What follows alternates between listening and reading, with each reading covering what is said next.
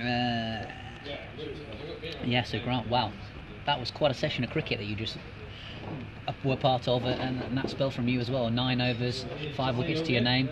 How do you react to that?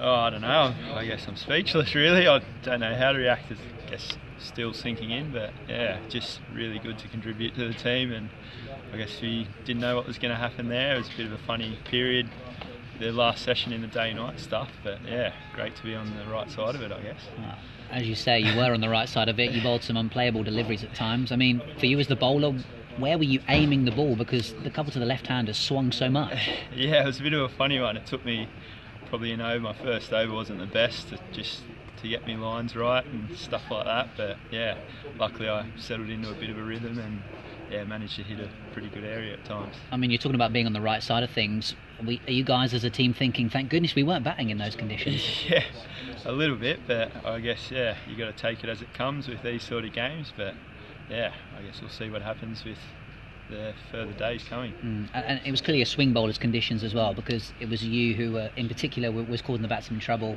whereas the guys at the other end, Harry Podmore, was more of a seam bowler, not quite getting the same results. Yeah, yeah. Well, I guess from previous pink ball games, this is the first one for me, but um, seeing blokes like Jimmy Anderson bowl with the pink ball, it's pretty, yeah, he causes a few troubles for batsmen, doesn't he? So, yeah, it's probably a swing bowler sort of thing, and I'm yeah, just glad I came out the right side of it. Uh, I mean, I haven't even mentioned your batting actually, because that was such an important knock for you and with Adam Rouse with you to get Kent a batting point, and that 2 4 1 looks a long way away for Middlesex at the moment.